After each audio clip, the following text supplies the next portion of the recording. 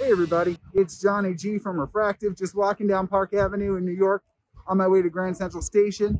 And uh, it's a really beautiful day. Just about a block ago, I was going down a side street and I was thinking to myself, letting my mind wander. And when my thoughts died down for a second, I noticed that there was a lot of birds chirping. It's something I didn't even hear until I made space for it.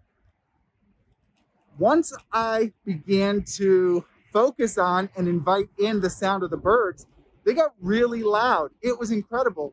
And just the sound of all of these birds singing around me lifted my energy and made me feel joy. It reminded me of one of my favorite statements, which is there's only as much beauty as we are prepared to receive. And so by making space for the sound of the birds, I was able to receive it. So I thought I'd share that with you because it really was a nice experience to have in the middle of the city.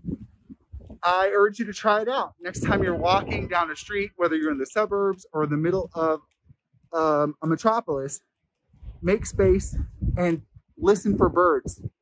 Be ready to be surprised by how loud they are and they come out of nowhere you think there wouldn't be any birds around and they're all over. So thanks a lot. Have a great day. Be good to each other and aim your light. Bye-bye.